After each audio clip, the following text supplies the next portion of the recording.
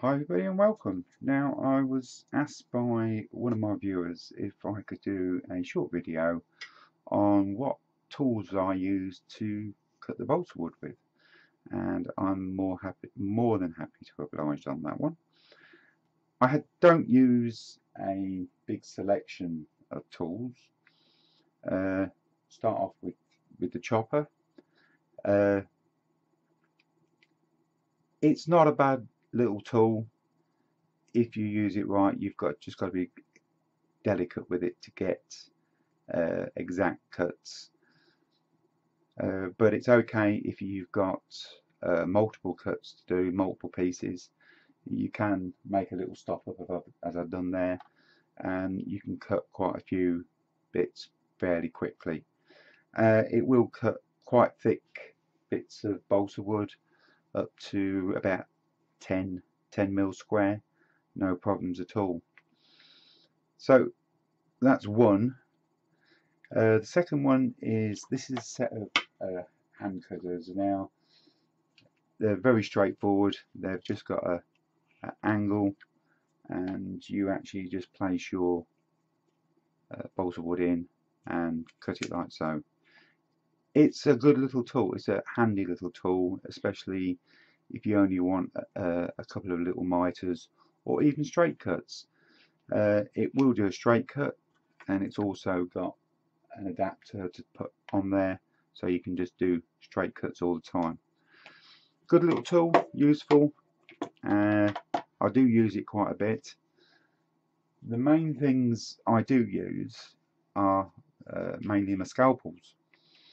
I do find my scalpels are a lot easier a lot easier to work with and all my scalpels we've got all different blades on the handles.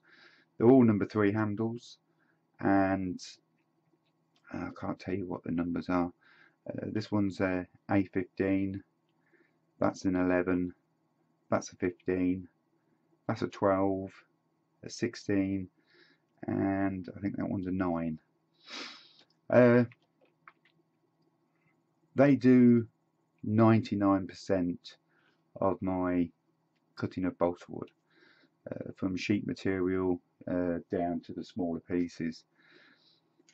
The reason I like the scalpels is because the blades are always nice and sharp and if you don't know that balsa wood doesn't like being cut with a blunt knife it crushes it, it doesn't cut it so the scalpels uh, the blades are reasonably priced so I use mainly the scalpels. Also what I do use is the little Tamiya uh, handsaw small uh, this is ideal just for cutting pieces. I don't use it a great deal but I still do use it on the balsa wood. Uh, as well I do use side cutters side cutters mainly just to get my stuff down to length it does crush it but it also does cut it as well. If they're nice and sharp you can get away with that just with a little bit of sandpaper over it. So side cutters are very handy. They're nice to get against items. And if you've been watching uh, any of my videos especially on the house build I do use the side cutters quite a bit to just trim the balsa wood and then sand it back also I do use the little micro scissors as well. They're very handy as well. Exactly the same if you've got small bits you can get into the corners and trim them off make them nice and neat. Also you must always use a square just to square off so I can cut it in a straight line. If I'm going to be cutting uh, sheet material down which I mainly buy all my balsa wood in the sheets because it's cheaper. I normally cut it down to the size and then I'll make myself a jig. This particular jig here is just for cutting uh, floorboarding and on the other side this is for battening and that's very simple to make. This is just made out of a couple of pieces of styrene. Uh, have I got a little bit of I don't think I have. I haven't got a little bit handy. Yes, I have. Excuse me it. and that's just very simply slid under uh, use that as your guide run it along. Oh, and as he carves himself into there. Run it along and cut your piece off. And uh, that's what I use for my floorboarding. When he gets it out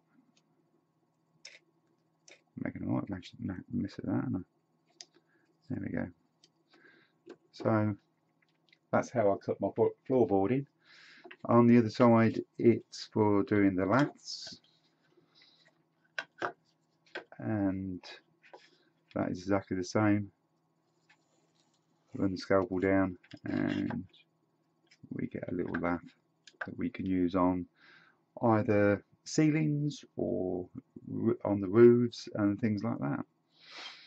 So basically that is all I really use to do uh, cutting my balsa wood with. You don't need a great deal of tools and I find the more complicated tools get uh, the more difficulty more difficulties you have actually using them and cutting them and if you're going to be doing balsa wood I would suggest just stick to basic hand tools and you can't go far, far wrong. The only th other things I'm missing is a ruler and a pencil. And that is it. So I hope that has been useful to somebody. Uh, I thank you very much for joining me and uh, hopefully we'll see you on the next one